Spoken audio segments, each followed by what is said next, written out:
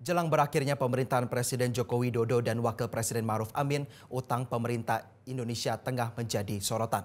Besarnya nilai utang pemerintah menjadi perhatian sejumlah kalangan.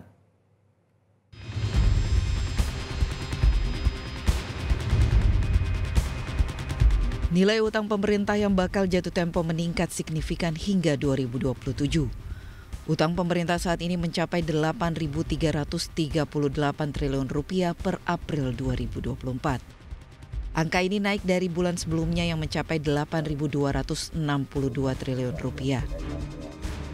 Berdasarkan data Kementerian Keuangan, nilai utang yang bakal jatuh tempo hingga tiga tahun ke depan itu mencapai sekitar 2.837 triliun rupiah.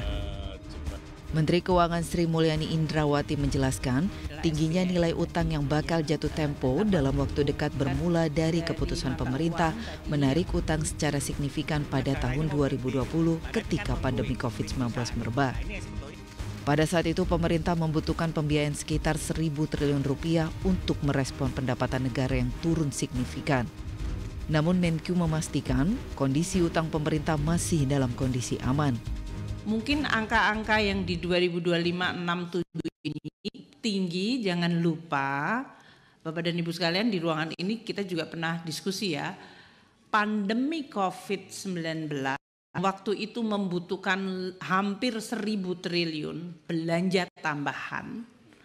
Dan untuk nambah belanja sebesar itu pada saat tadi penerimaan negara yang dibacakan oleh Pak Wihadi turun 19 persen karena ekonominya berhenti kan Pak waktu itu, maka defisit kita tinggi. Nah waktu itu Komisi 11 dengan kita serta Pak Peri, Bank Indonesia setuju melakukan burden sharing.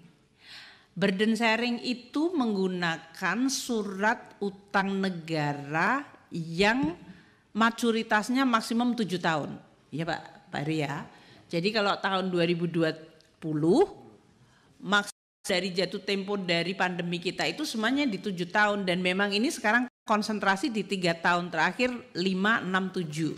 Salah satu contoh nyata dampak hutang luar negeri terhadap proyek infrastruktur di Indonesia adalah proyek kereta cepat Jakarta-Bandung. Proyek ini dimulai pada tahun 2016 dengan total investasi sekitar 6 miliar US dollar. Sebagian besar dana untuk proyek ini berasal dari pinjaman luar negeri, terutama dari China Development Bank. Namun mundurnya target pengerjaan proyek ini membuat terjadinya pembekakan biaya sebesar 1,2 miliar dolar Amerika Serikat atau 18,6 triliun rupiah. Angka ini merupakan hasil audit bersama yang disepakati dua negara. Jika ditotal dalam periode 2025 hingga 2028, total utang jatuh tempo mencapai 3.125,94 triliun rupiah.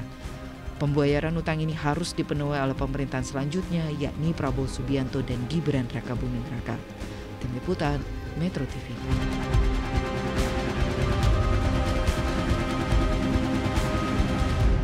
Jelajahi cara baru mendapatkan informasi. Download Metro TV Extend sekarang.